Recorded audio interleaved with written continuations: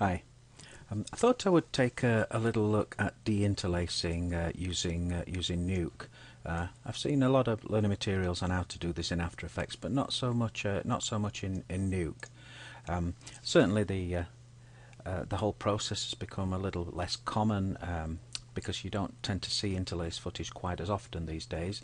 But that's not to say that you don't see it, and certainly if you're working with footage shot with consumer cameras, uh, quite often uh, you will get uh, you will be working with interlace footage. And of course, interlace footage causes this nasty, uh, nasty sort of comb teeth effect caused by the field orders, um, and um, and this is clearly the compositor's nightmare. We need to get rid of this before we do any post effects.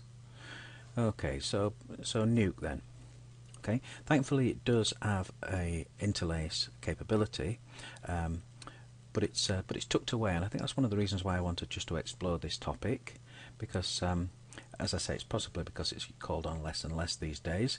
We access the deinterlace node. You'll see that if I start typing um, deinterlace. Um, you'll see that it comes up and that's because I've already activated it. But if you do that on yours you may not get it. So I'll show you how to how to activate it.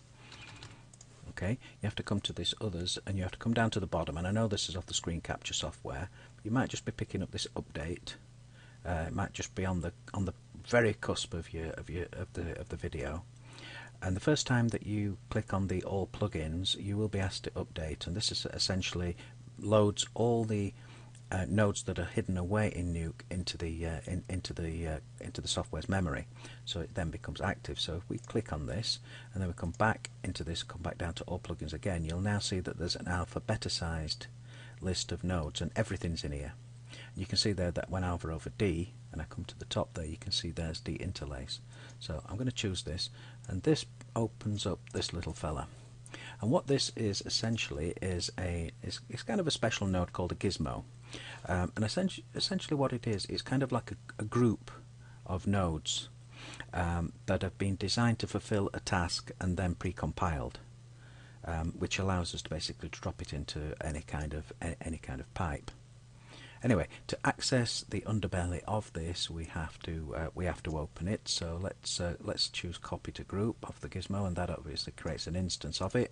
Once that's done, this is a basically a replica of this, so we can actually get rid of the deinterlace now, and this is our group. Now again, we can't get at it directly until uh, by by by clicking on it we, we just it just brings up the actual HUD of the group so to get into the underbelly we just hit control and enter and you can see now that that's our original node graph and now we're into the we're into this gizmo and we can see this how this is constructed. And I'll just spend a moment or two just to explain what these nodes are. Okay we've got an input and an output and this is a, this is standard with uh, with gizmos. The input allows us to receive a pipe from above and the output allows us to take a pipe out from below. So it basically means that we can drop it into any part of a node pipe Okay, the next thing that we've got is we've got a separation of the fields. So with interlace footage we have a lower and an upper field. So if we just click on one of these you can see that this one is choosing the even or the lower field and this one is choosing the odd or the upper field. Okay, so we will always have with interlaced footage we will always have these two. One will be set to odd one will be set to even. We don't necessarily know which is which. Uh, quite often that's trial and error unless uh, it's being recorded during the uh, during the actual image capture process.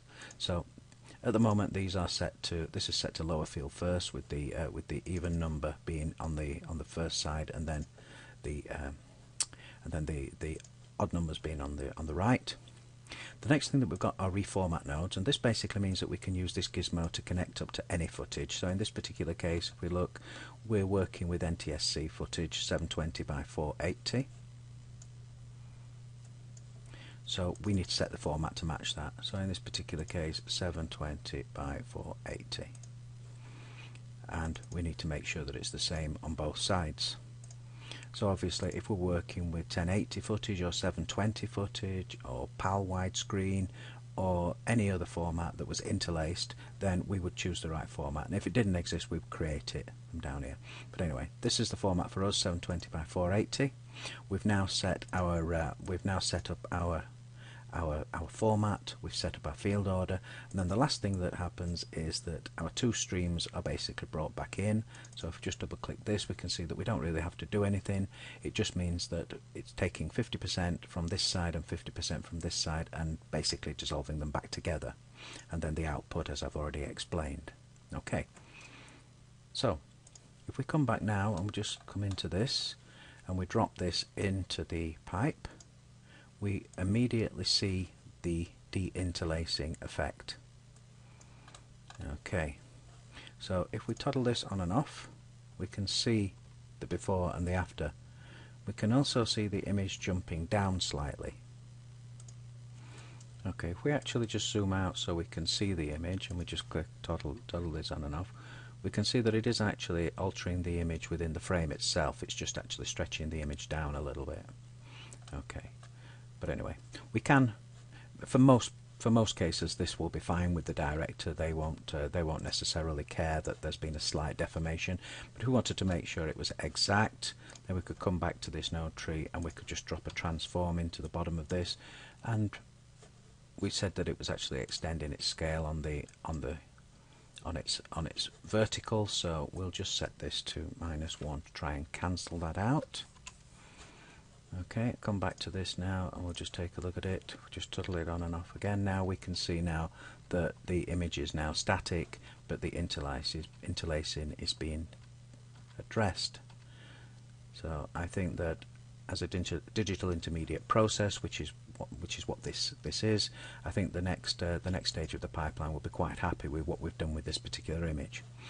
Anyway, use this workflow, try this out yeah, because because it's a it's a it's a great it's a great little workflow when you're working with Nuke. You don't want to be jumping back back to programs like After Effects and things like that to solve this problem. This is a perfectly legitimate way of sorting it out, and obviously additional controls as well. So that's the end of this tutorial. I hope you found it useful.